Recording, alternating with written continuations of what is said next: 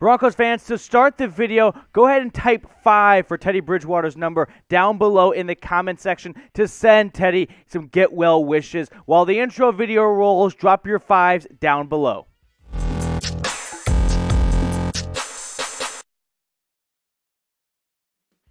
Welcome into the Broncos breakdown, recapping the Bengals Broncos Week 15 matchup. A lot to unpack. We'll touch on, of course, the big news Teddy Bridgewater, the latest news we have on his injury status, and then we'll dive into Drew Lock, this defense that played I don't know if surprisingly well is a good way to put it, but definitely overachieved my expectations for Joe Burrow and Ja'Marr Chase is offense. Let's kick things off by Bridgewater, though. Let's get into that injury update. Latest I'm seeing right now is Vic Fangio just said in his press conference that Teddy Bridgewater will remain overnight in a hospital. If you missed it, Bridgewater took a nasty hit diving for the first down, went airborne, came down sort of on the front of his head, kind of had some contact behind him. It's difficult to recreate. I tweeted it out at my Twitter handle at Matthew Petey if you want to go check it out there. But head and neck injury, Drew Lock came in all we hope for this point is that Bridgewater will be okay and then we'll see him back on the field soon because Bridgewater, we know, has had a very rough, long history with injuries going back to his rookie for his first couple years in Minnesota.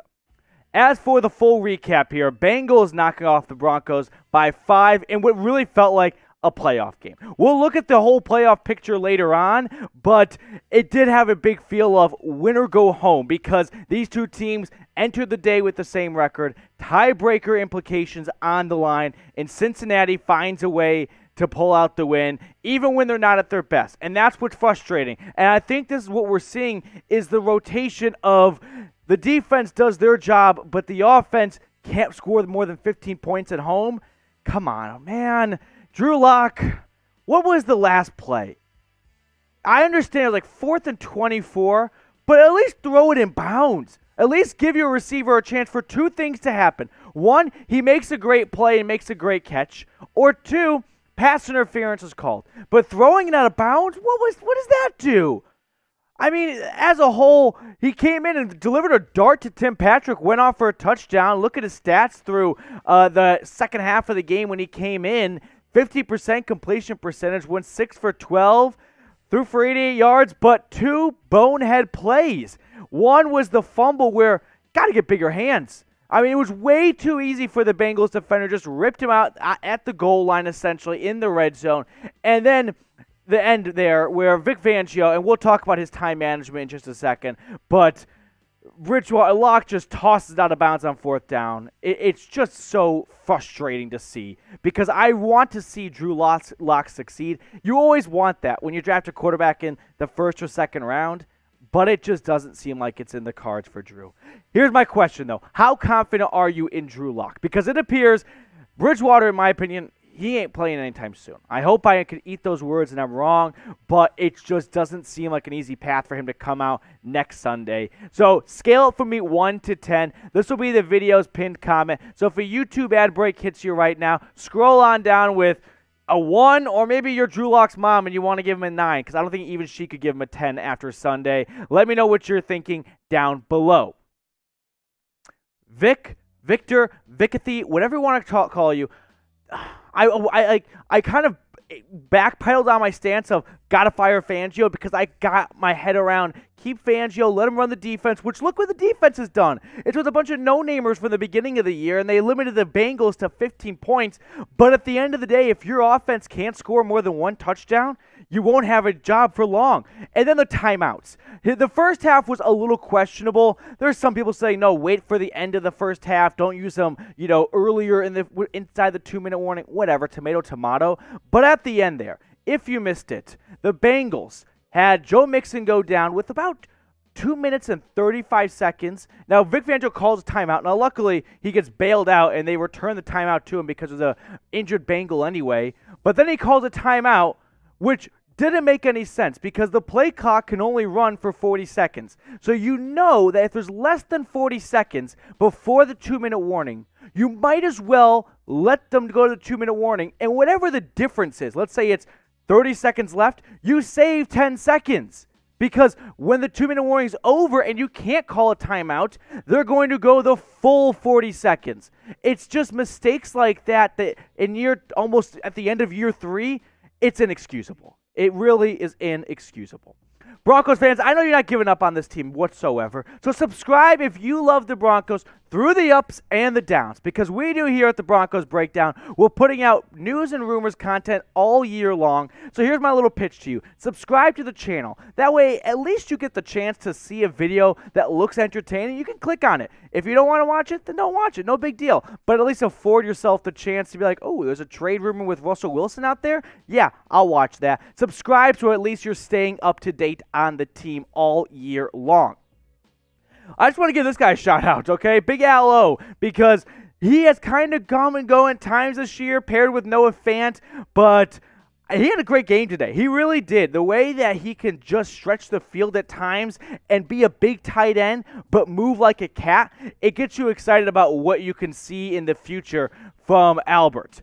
We also have some great stuff going on with our friends at Fanatics. We'll pause on the recap for a second and tell you about this awesome deal going on where you can get these two polos 50% off, whether you want it in blue or orange, whatever it is, it's $35 at chatsports.com slash Denver Polo. I got that one down below in the comments and the description of this video. So make sure you check it out right there. Get yourself hooked up with this sweet polo going on at Fanatics. The Broncos offense, it was just very ill prepared. Pat Shurmur has proven to be a bad offensive coordinator throughout the course of the season, plain and simple.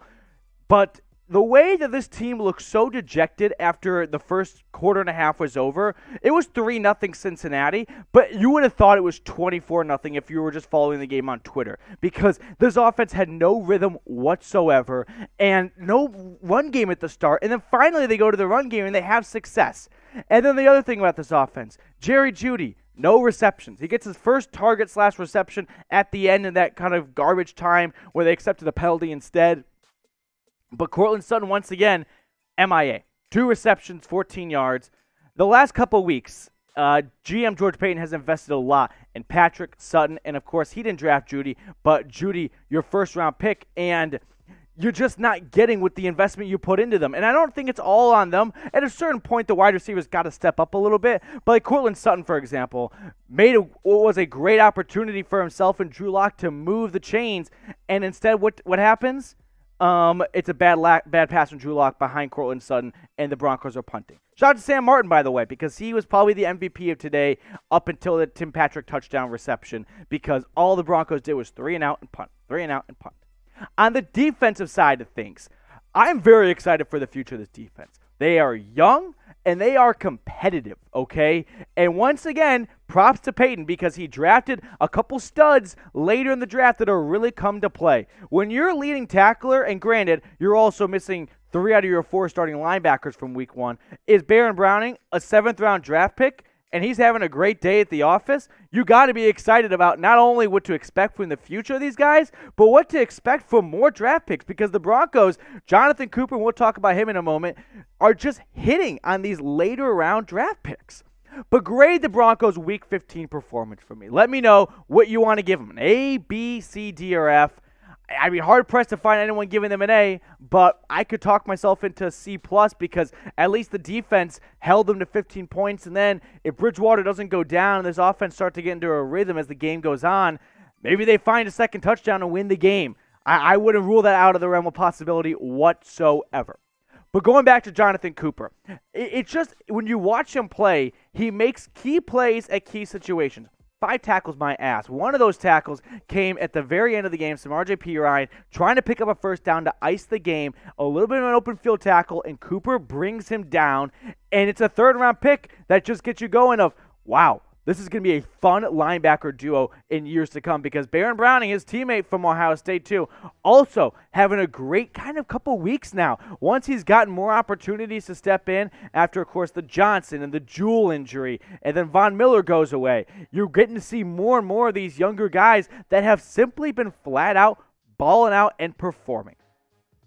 Once again, 15 10 the final. I'm looking at a couple things here. Joe Burrow you held him to under 160 yards, and you don't get much out of it. you don't get a win. That's just sadly a huge miss. But let's switch gears. Let's go to the AFC playoff picture, see where Denver stands now.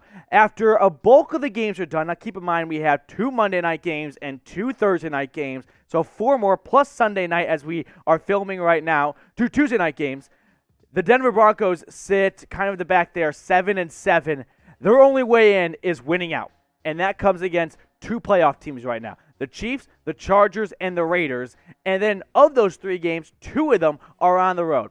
It is taller than a mile high mountain to climb right now, and my, for my mind, to get in if you're the Broncos, because you don't have tiebreakers over the Bengals now and over the Pittsburgh Steelers and the Browns and the Ravens. So you need a lot to go your way.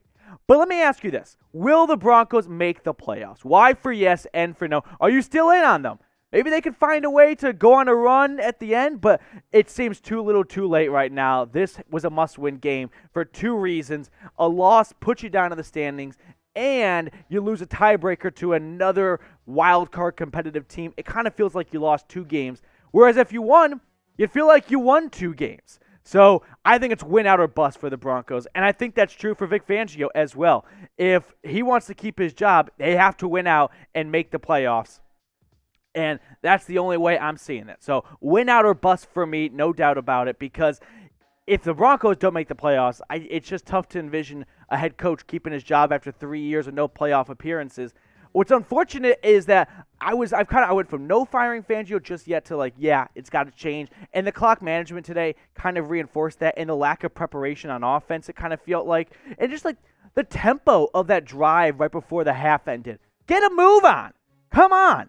But maybe GM George Paton wants to keep Fangio around, trade for Wilson or Rodgers, and go, hey, Fangio, you just run the defense. We'll hire a better OC. And together, that's going to be a pretty good duo. Before we wrap up the video, if you've already subscribed to the channel, we appreciate you so much. But if you have not already, send it to a couple friends. Show them the recap. Get them in on the Broncos breakdown. That way, like I said, when a video comes across your timeline or your feed that looks interesting, at least you're going to have the eyeballs on it to click on it. Give yourself the chance to stay up to date on the latest Broncos news and rumors all year long.